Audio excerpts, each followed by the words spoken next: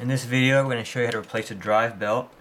Simply, I'm going to lower the uh, mechanism, push that out. This is the drive belt right there. You simply remove it. As you can tell, it's pretty, uh, pretty worn and extremely large due to it being used uh, just like tires.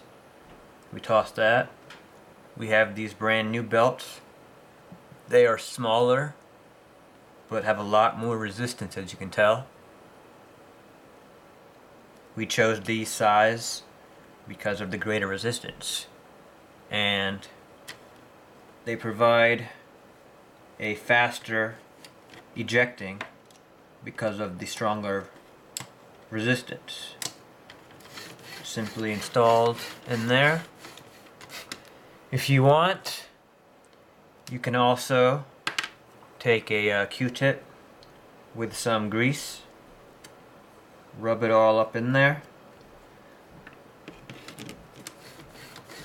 stretch it out and that's it